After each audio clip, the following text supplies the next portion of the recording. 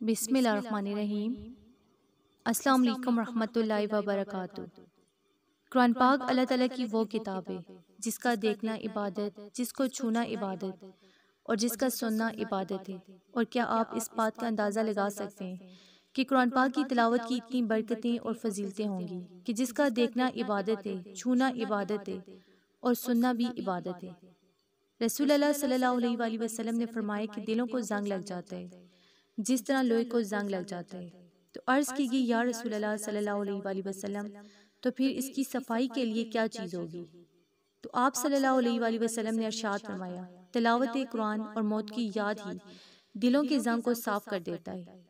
तो आज की इस वीडियो में अपने तमाम देखने और सुनने वाले भाइयों बहनों को कुरान पाक की एक सूरह मुबारक सूरह यसीन का एक बहुत ही ख़ास बहुत ही मजरब बहुत ही फजीलत और बरक़ात वाला अमल बताने जा रही हूँ सूरह यसीन तो सब लोग पढ़ते होंगे, इसकी तलावत करते होंगे। लेकिन जिस तरीके से आज आपने पढ़नी है, वो तरीका समझना बहुत ज़रूरी है, क्योंकि आजकल जादू का मर्ज दिन ब दिन बढ़ता चला जा रहा है। आए दिन कोई ना कोई हर घर में इस मर्ज में मुबतला नज़र आता है। रिस्क में दिन ब दिन कमी होती जा रही है, दौलत घर में आने का नाम नहीं लेती। अगर आती है तो पानी की तरह बह जाती है। तो आज का यह अमल तमाम भाइयों और बहनों की खिदमत में पेश कर रही हूँ। जो रिस्क, दौलत और घर की परेशानियों की वजह से बहुत ज़्यादा तंग आ चुके हैं। अगर किसी पर जादू कर दिया गया हो, जिसके बायस वो शदीद बीमार रहता हो उसका रिस्क बंद हो गया हो, उसका कारोबार बंद हो तो आप आज का ये अमल करें। इससे आपका रिस्क बढ़ना शुरू हो जाएगा। जिनका कारोबार नहीं चल रहा, इससे उनका कारोबार इंशाल्लाह चल जाएगा। और आज के समल की बरकत से अल्लाह पाक आपको दौलत से माला माल फरमा देंगे। तो जैसा कि आप सब जानते हैं कि ये रबी अव्वल का महीना है। और इस महीना में वो हस्ती पैदा हुई, जिसका ज़िक्र अल्लाह ताला ने खुद बुलंद कर दिया है। और इस महीने में सूरह यसीन पढ़ने से जो ताकत मिलती है, जो मोजे होते हैं, अगर आपको पता लग जाए तो कभी भी इस महीने में सूरह यसीन की तिलावत करना नहीं भूलेंगे। बल्कि अल्लाह इस महीने के सदके, प्यारे आका की आमद के सदके, आपको इस अमल को करने से इन दौलत से माला माल फरमा देगा और आपकी परेशानियों को दूर फरमा देगा। तो आप सब जानते हैं कि सूरह यसीन को कुरान पाक का दिल कहा गया है। और जिसम के अंदर जो सबसे अहम हिस्सा होता है वो दिल ही होता है। हजूर पाक सल्लल्लाहु अलैहि वसल्लम ने फरमाया कि अल्लाह ताला ने ज़मीन और आसमान की तहलीक से एक हज़ार साल पहले सूरह ताहा और सूरह यासीन की तलावत फरमाई। जब फरिश्तों ने सुना तो कहने लगे खुशी और उस उम्मत के लिए जिन पर ये सूरतें नाजिल की गई हों। खुश नसीब हैं वो सीने जो इन सूरतों को महफूज करेंगे और बहुत ही ज़्यादा शहादत माने वो ज़ुबानें जो इन सूरतों की तलावत करेंगी तो नबी पाक सल्लल्लाहु अलैहि वसल्लम का शाद मुबारक है कि जिस शख्स ने सुबह को सूरह यासीन की तलावत की तो वो शाम तक खुशी में रहेगा और जिस शख्स ने शाम को सूरह यासीन की तलावत की तो वो सुबह तक खुशी में रहेगा। तो आज की इस वीडियो में आपको सूरह यासीन की तलावत का जो तरीका बताने जा रही हूँ वो तरीका इस तरह से कि माई रबी अव्वल में इस महीना में किसी भी दिन आप लोग सूरह यासीन की तिलावत करें। अगर आप रोज़ाना कर लें तो सोने पे सुहागा होगा।